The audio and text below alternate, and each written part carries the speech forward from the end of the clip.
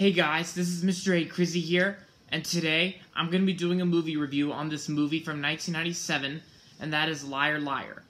Now, the plot of this movie is where you got this guy named Fletcher Reede, played by Jim Carrey, who who who pretty much has a has a has a really bad habit of of lying into his son, and and so because and he does he doesn't he doesn't get to do much much with him, and so and, and, and so and so one day and one day his son played by Justin Cooper is and one day it's it's his birthday and so and so and so he and so he wishes that that he would that he wishes that that he would tell the truth just once he would tell the truth just once. And then you know and then and then Fletcher tells the truth very spe- specifically like you know he gets everything like out of his head like and tells the truth very well. But then you know but then he gets embarrassed of himself and then he angers a lot of people and so and so Fletcher Reede has to do whatever he can to, to, to stop this whole problem. So that's pretty much the basic plot of this movie, or that's pretty much the plot of this movie. Now, I, I remember watching this movie like a like a few years ago, and I, and I and I actually liked it, like you know, because you know this is probably what it's probably, and to me, I think this is probably one of Jim Carrey's best movies and one of his funniest movies ever. Because this movie has some funny moments, and you know Jim Carrey's always funny, and Jim Carrey's meant to be funny. I, and I thought Jim Carrey did good in this movie, and I, and also Jennifer Tilly. Jennifer Tilly's in this movie. I I thought she did good, and um, Justin Cooper did good as as like the son Justin Cooper. I thought he he did good. Yeah.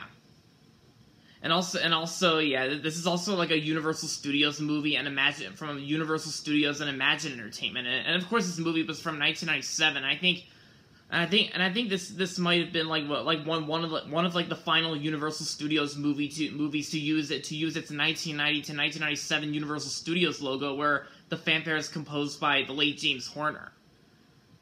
Like you know, and then in 1997, and then they made a new logo where where the fanfare is composed by Jerry Goldsmith. Which which that, that's probably my favorite my favorite Universal Studios logo out of all of them other other than the 2012 logo and the James Horner logo, but yeah. Because you know, because I, I first saw I first saw the the 1997 the 2012 Universal Studios logo. I first saw that logo on the How the Grinch Stole Christmas from 2000, and I first saw the James Horner Universal Studios logo. I first saw that on an American Tail Fievel Goes West.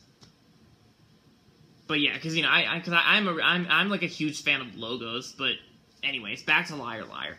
So yeah, and and. And, and, and, and for this movie, I, I thought I thought the humor in this movie, Liar Liar, I thought I thought the humor was very funny. I thought the comedy was funny. I thought the comedy was funny. The humor was funny. The writing is good. The acting is very funny and hilarious and good. Yeah, and, and if you haven't seen Liar Liar yet, I definitely recommend it. It's worth watching. Yeah. And so overall, Liar Liar is a funny movie, and I'm gonna give it five out of five stars. Alright guys, so that's so that's my review on Liar Liars. So hope you guys enjoyed this video, and if you're not subscribed yet, don't forget to subscribe if you, if you haven't yet, and make sure to like this video. Alright guys, we're gonna end this video here, so goodbye everybody, and that's about it.